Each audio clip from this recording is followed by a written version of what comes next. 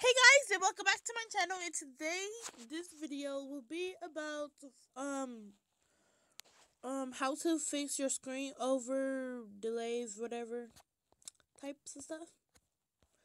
Okay, so right now um I used to begin this problem on my screen delays because I have my new phone. This is my new phone is the one I have right now and recording with it's the LG G5 and this works for Samsung users like um Samsung S7 and stuff like that. If you ever had a screen detector or delay or overlay pr problem, please view this video and give this thumbs up. Okay, so what you want to do is um if you have watched videos on YouTube explaining how to fix this problem and I tried it and it don't work. So pretty much it may work for some users, but for the LG, I don't know. It didn't work. I had turned off um I had went to my settings and turned off um the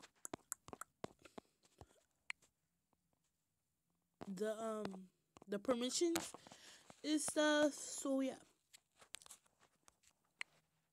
So if that doesn't work for you, you want to go to your Google Play Store and then um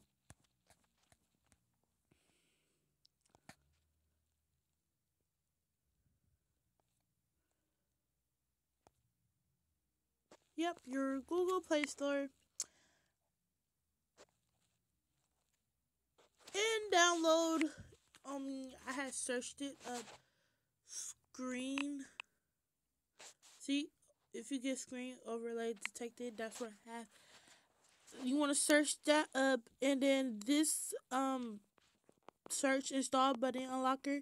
This is really works. This is no root, no nothing. This this app really works. I thought it wouldn't work. Stuff like that. So then you want to just turn on this, and this gives um it says you want to turn on accessibility. It, it is necessary, you know. It says screen overlay is forgetting the time that person So yeah, this is it. This the one you want to turn on that button and tap on it and turn it on.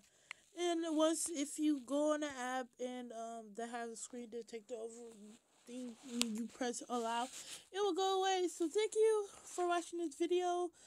If I didn't explain it well, please comment in the um comments below. Um, please don't write hate comments. Love you.